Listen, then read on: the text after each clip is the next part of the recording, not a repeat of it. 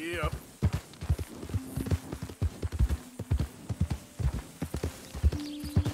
Hey, hey, this way! You gotta help me out here, mister. Can you? Please?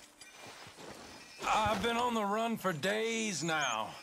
Uh, If you could help me with these shackles, I, I just might have a chance.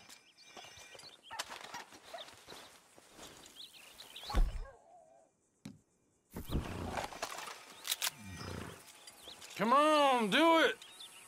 Oh! Oh, oh, yes.